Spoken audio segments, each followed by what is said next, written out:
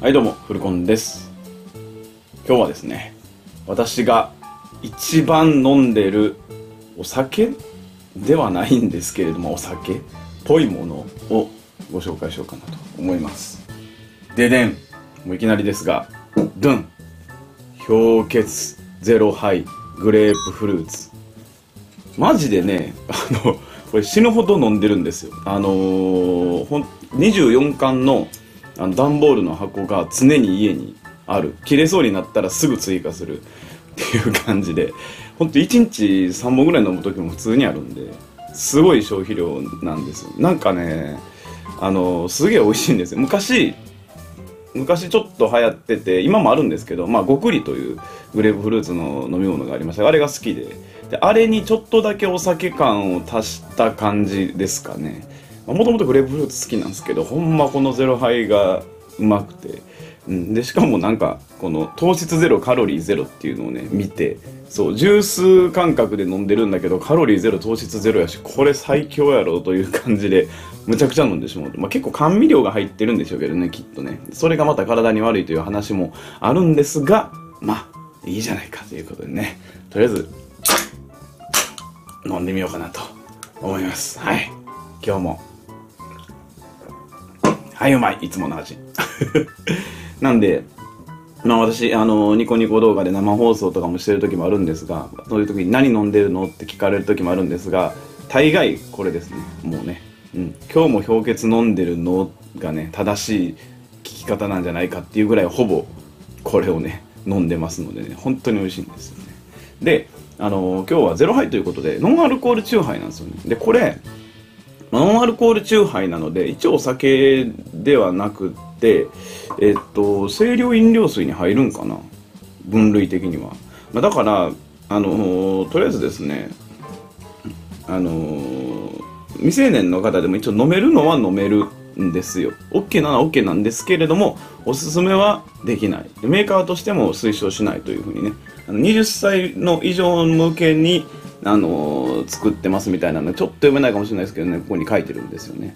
そう。やっぱりこういうのちょっとお酒テイストな味のものを飲むと本物のお酒も飲んでみたいなっていう風にまあ必然的になりうるじゃないですか。普通に考えたら。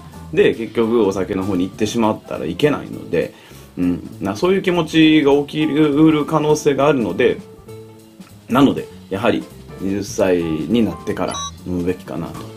思います。二十歳になった後に普通のお酒を楽しみながらいや酔いたくないけれどもちょっとアルコールっぽいもの飲みたいなみたいなね酎ハイっぽいもの飲みたいなという時に飲む。